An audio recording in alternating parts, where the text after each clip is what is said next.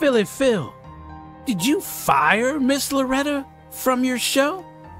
Or did Miss Loretta bow out because she was worried about a lawsuit? Now, I believe should be sued. Take a listen. When we, when we learned that she said in her own words, I taught him everything he knows. Mm-hmm. I got to agree with the woman.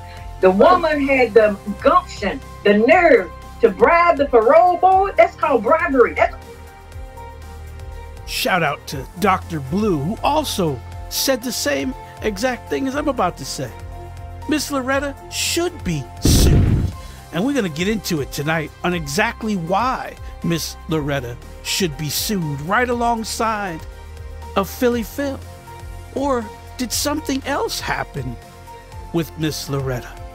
We'll talk about it tonight.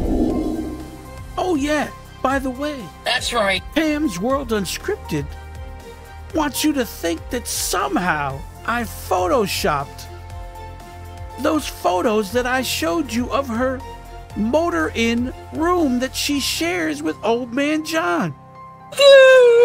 Take a look because I actually have other photos of the room also. Now, Pam's World Unscripted, in that video, she didn't pan around the room. She just showed you specific spots in the room. Ask Pam's World Unscripted to show you that corner that I keep showing everyone.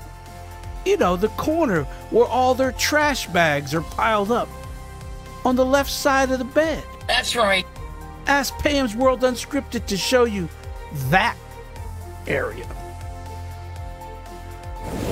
It feels like I'm in the bowels of Satan, and it does not feel good. It, it don't feel good at all to me. It don't feel good. It don't smell good. It don't taste good. It's disgusting. And everybody else is just okay with being in the bowels of Satan. I know I'm a man. That's right. Yeah, I said it.